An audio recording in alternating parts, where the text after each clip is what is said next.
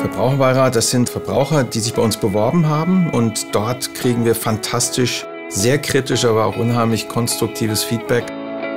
Und heute haben wir den Verbraucherbeirat eingeladen, hier nach Vitell. Ich habe viele Fragen beantwortet bekommen. Ich bin mit einer sehr kritischen Meinung hergekommen. Ich gehe auch mit einer sehr kritischen Meinung. Ähm, aber sie hat sich ein bisschen geändert, weil ich in die Materie reingucken konnte.